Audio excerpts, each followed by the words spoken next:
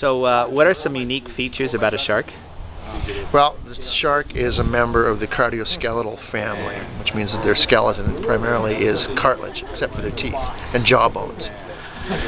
But what makes them enormously efficient, and they've been this efficient for at least 65 million years, as the fossil record indicates, is something called the, Lorempe- the ampullum of Lorenzini, which is a, an array capacity that literally runs the length of their body, but aggregates the most densely in their snout. And the purpose of this aggregation of sensory apparatus is to determine the uh, a multiple sensory level uh, uh, acceptability of a given prey.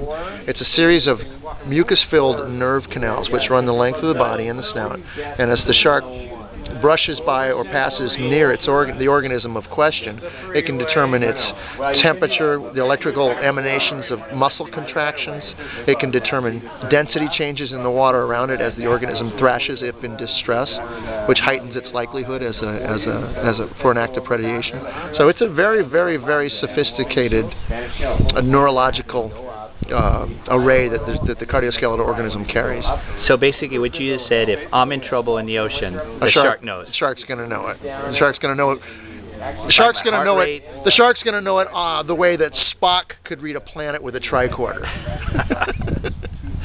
wow, wow. Are there any other um, of these kind of uh, unique features in the open water that that uh, open water swimmers should know about?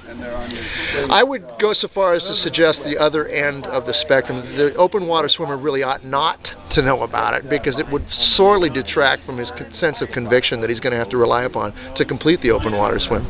If the open water swimmer were to, to associate and, and familiarize himself with the capability of most predators, apex predators in the ocean, he probably wouldn't get in.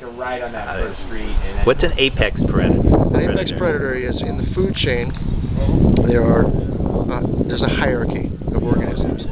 An apex predator is what it, exactly what it means. It's at the very very top of the food chain. The white shark, the mako, the hammerhead, um, the thresher on a smaller degree off these waters, but most definitely the white shark uh, is the apex predator. He's at the very top of the food chain.